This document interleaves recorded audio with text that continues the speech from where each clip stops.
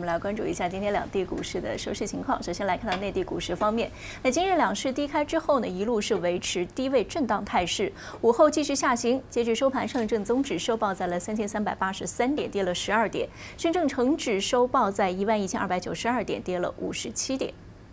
港股方面，恒指今早今日开盘高开了百分之零点零四，那之后维持震荡。截止收盘，恒生指数收报在了两万八千五百一十八点，跌了七十五点，全日成交额在九百五十二亿港元。好，马克，我们来回顾到时隔近两年啊，这个 A 股的这个两市的这个融资融券的这个余额啊，我们看了几乎又是突破了一个万亿元的这样的一个大关哈。那您觉得说，因为我们现在看到依然这个沪指还是在三千四百点的这个位置左右在拉锯的，呃，为什么大家好像这个资金依然还是如此的乐观呢？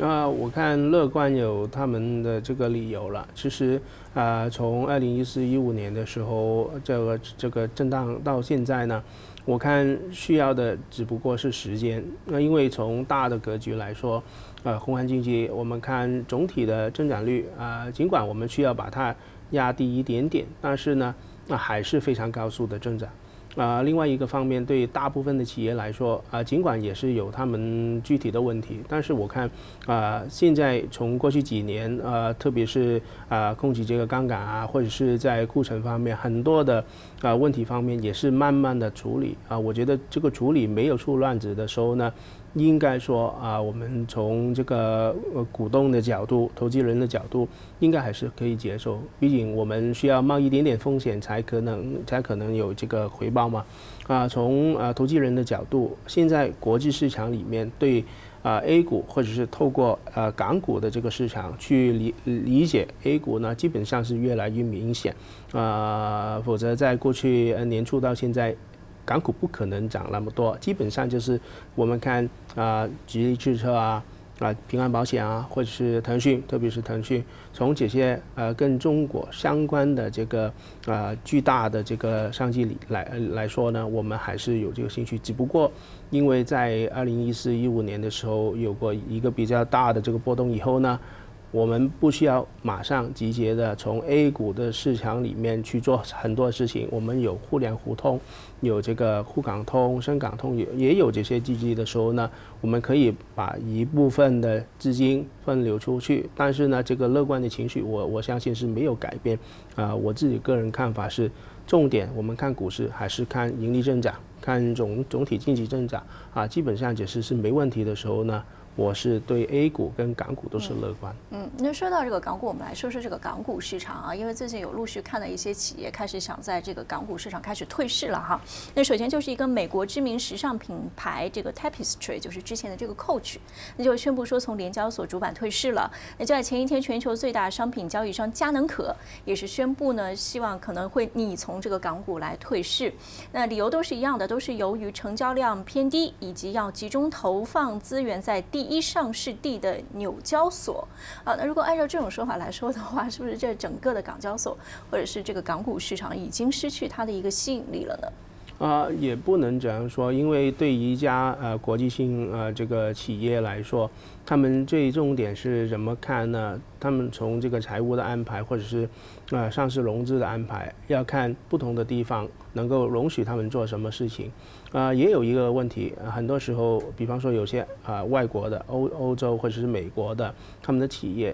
他们根本就就就在本地已经上市呢，可能需要在亚洲地区。啊，推广啊，介绍他们的品牌，或者是容许更多的投资人去了了解。但是我看这个安排对啊香港来说，其实呢，呃角色是非常明显。这个定位应该说是把